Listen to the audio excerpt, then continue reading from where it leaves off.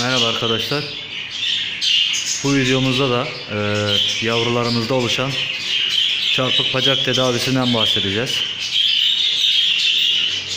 Çarpık bacak tedavisinde ne kullanırız? Tedaviyi nasıl yaparız? Onları anlatacağız arkadaşlar. Öncelikle bu tür bir hastalıkla karşılaşmamak için kuşlarımızın altına ee, anne kuş yavruyu ezmesin diye fazladan boş yumurta koyarsak bu sorunla karşılaşmayız arkadaşlar.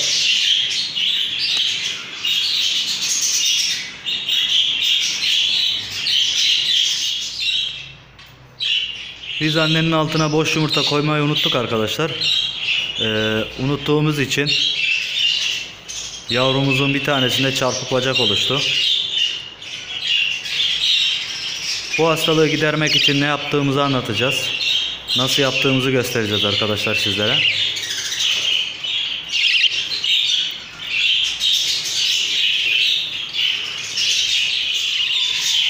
Arkadaşlar bu yavrumuz çarpık bacak olmuştu. Bunu tedavi için e, hazırda kelepçemiz olmadığı için bakır kablodan bir kelepçe yapmaya çalıştık.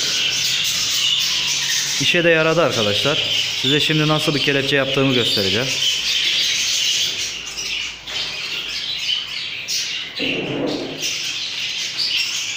Gördüğünüz gibi arkadaşlar bakır bir kabloyu kelepçe haline getirerek yavrumuzu bu şekilde tedavi etmeye çalışıyoruz. İşe de yarıyor arkadaşlar. Hazırda kelepçeniz olmazsa eğer siz de bu şekilde bir kelepçe yapabilirsiniz.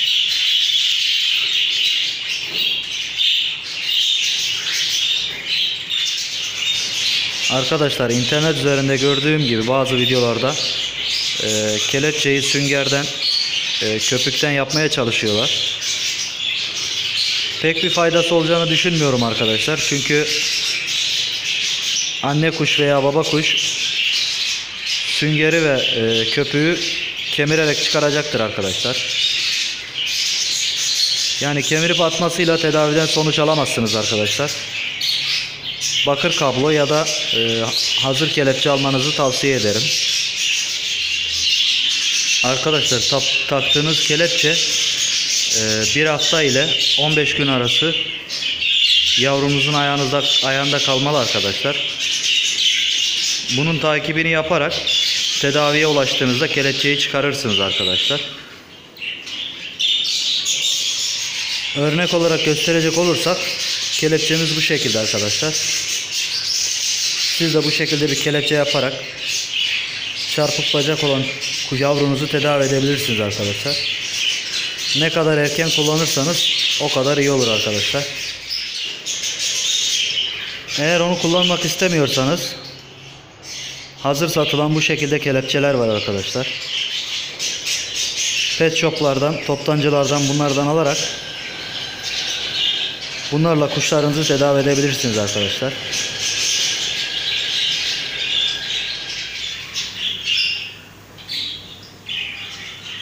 Şimdilik anlatacaklarımız bu kadar arkadaşlar. Umarım başınıza böyle bir şey gelmez. Bir dahaki videomuzda görüşmek üzere.